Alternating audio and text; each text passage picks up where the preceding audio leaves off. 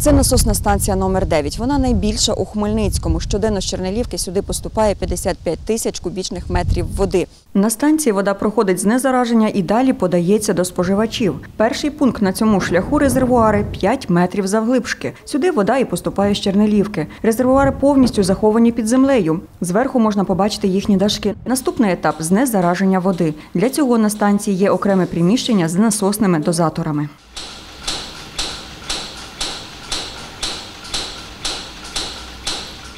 Звідси у резервуари з водою подається хлор-речовина. Це така речовина, що вона спеціально для, для питної води, гіпоклорід марки А. В звичайних кожен день ми проводимо е, хлорування води в дозах ну, необхідних для споживання. А сьогодні ми проводимо е, в- з повищеною в 10 разів е, дозою гіпоклоріду. Дозування проводиться і насосними насосами-дозаторами, які підтримують необхідну дозу.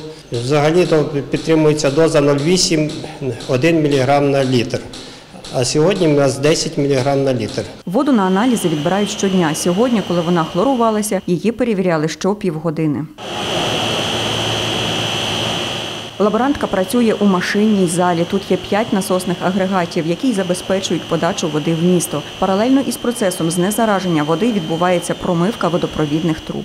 збільшення гіпохлоріту натрію е, в- цей день під час промивки, який подається в мережу, е, значить, ця речовина вступає в контакт е, з плівкою, значить, відкладень, які можуть бути е, ну, внаслідок окислення, ну, зокрема на стальних трубопроводах, де вони використовуються, ну, воно вступає в реакцію і при цьому видаляються, якщо десь є такі, якщо мають місце такі значить, залишки, це заліза, це марганцю, це кальцію, такі відкладення теж промиваються з трубопроводів.